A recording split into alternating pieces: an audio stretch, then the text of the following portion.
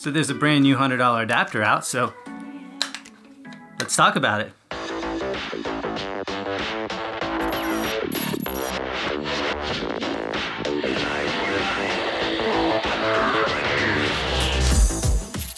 So adapters have been kind of a way of life for many years, and then in the last two or three years, Sony has really completed their lens lineup, and I don't think there's a whole lot of reason to get into adapters right now, but Yongnuo just came out with a $100 adapter, and there's a couple reasons to buy these. I mean, you might have some Canon gear that's left over, you might be on a shoot and be able to borrow some, and they're really good to have around for a lot of reasons, or maybe Canon's lenses are cheaper, or there's some Sigma options and Tamron options that might be a little bit better. So I do want to talk about uh, this adapter, and then also compare it to two other adapters that I have. The Fotodiox adapter, which again is a Canon E mount or a Canon EF mount to the Sony E mount, and then the MC11 Sigma adapter, which has been the one, my main go-to and pretty much everyone's main go-to. And usually this is about $250. Every so often you can find it on sale for 150. So let's talk about some of these adapters and the performance between the three of them.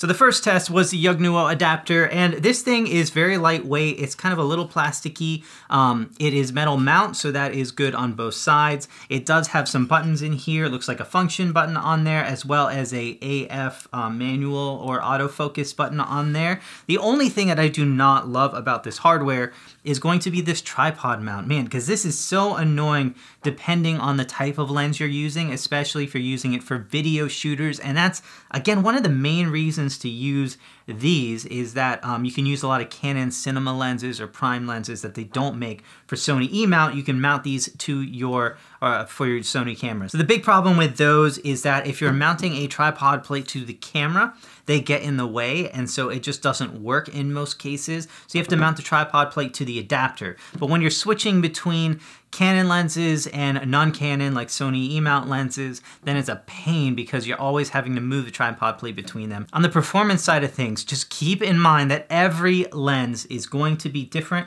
I tested with the Canon 7200 because this is a pretty much a recent high-end lens and then Sigma's 135 1.8 because I want to see how they handle third-party lenses. So these are the two that I tested with every lens is going to be different. So the more I included, it just ended up being all over the place. So take that with a grain of salt. It will depend. But when it comes to these two lenses, here's how things performed. On the camera side, everything looked really good. I was getting eye autofocus even extremely far away. This, even with the adapter and Canon lenses, is so much better than what you're getting with Nikon or Canon on the eye AF side of things, even with the newest updates from those cameras. So overall performance on that was really good. The problem is if you start getting into servo and tracking as they're moving towards you, you start getting into trouble. It doesn't look like the camera is really autofocusing in between frames. As long as you're holding that shutter down, it is locking that position. So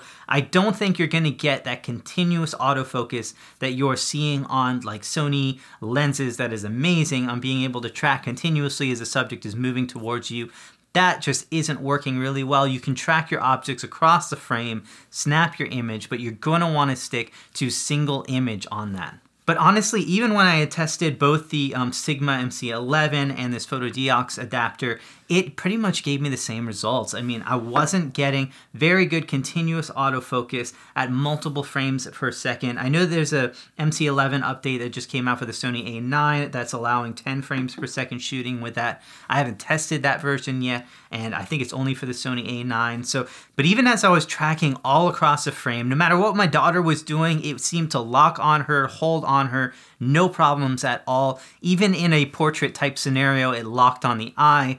Checking my autofocus afterwards and zooming into 100%, man, these things look good. There is no issues with adapters when it comes to that. It was working perfectly well and tracking amazingly well, just as good as the native lens. After doing a bunch of tests with the Canon lens, I switched over to the Sigma, and this is where things got uh, horrible for the Yongnuo right here. I got absolutely no performance with Sigma lenses on that, and it was going crazy. I was actually worrying I was damaging my lens, so I turned it off, but I was not getting any autofocus performance on that. In fact, when I started switching things even into manual, it was giving me errors on, uh, on everything. So basically, you will not want to use Sigma lenses, and hopefully all Canon lenses are going to work properly. Again, I can't test every Canon lens, but um, Sigma lenses for sure did not work. And I'm sure they have it in their literature that they don't operate with Sigma lenses, but a lot of people who want to own third-party lenses will probably want to look at putting a different type type of lens and a Sigma is a great choice on that. They also make some pretty good Cinema Prime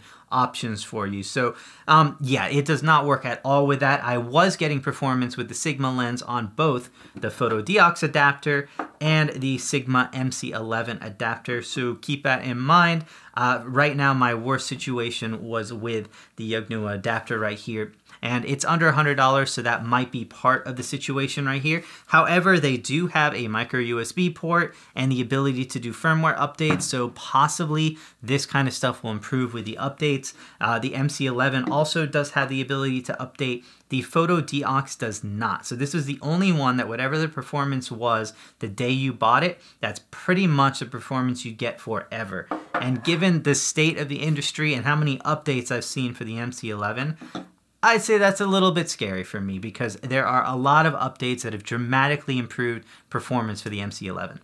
Also keep in mind, for those of you shooting video, autofocus during video is gonna be a non-starter. Basically, on any of these lenses, as soon as you go into video, uh, you are just not gonna have continuous autofocus, so keep that in mind. Native lenses are gonna be the way to go. So basically, when it comes to the Yongnuo adapter, it is not my favorite of the bunch. In fact, in most areas, it performed the worst, especially when you consider not working with third-party lenses like my Sigma lenses right there. That was a major thing for me, not having that ability. And the main reason I wouldn't get it, in addition to the tripod plate, because that kind of irks me because I shoot video a lot and I shoot with tripod plates a lot, like those long Manfrotto ones that get in the way. So um, for me, that made it almost a non-starter. However, you do have the ability to do firmware updates. So if you want to get something super cheap, you only have a couple Canon lenses and maybe it'll get better over time. The Yongnuo might be a good option. It seemed well built. And again, for my Canon lenses, performance was very good. I had no issues with the 7200 on here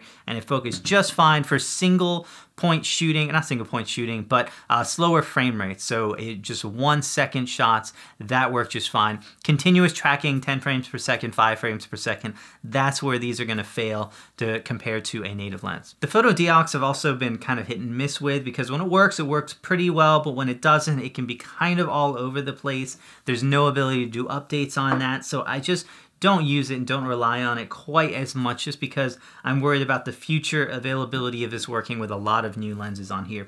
So that kind of brings us back to the MC11. And honestly, guys, this is still the way to go if you can afford it because not only are you getting a little bit better build quality on that, you're getting your firmware updates and it does have the ability of working with Sigma lenses and it works really well with Canon lenses as well. So for me, I've had no problem across the frames. Again, adapters are still very limited. There are a couple people that shouldn't use them, but that's my impression so far, guys. So um, I'm still using native lenses almost entirely, but because I own Canon lenses, every so often I like to throw some Canon glass on there. I use my 7200 a lot. Hopefully this has been helpful. Please like and subscribe if you don't mind it. And again, check out some of this and my gear in the links below, as well as the review for the A7 III. If you haven't seen that yet, you should absolutely check that out. Thanks guys so much for watching. We've got a Facebook group as well. If you need some more information, join that Facebook group. I'll leave a link in the comments or in the description below. Thanks guys so much for watching, and I'll see you real soon.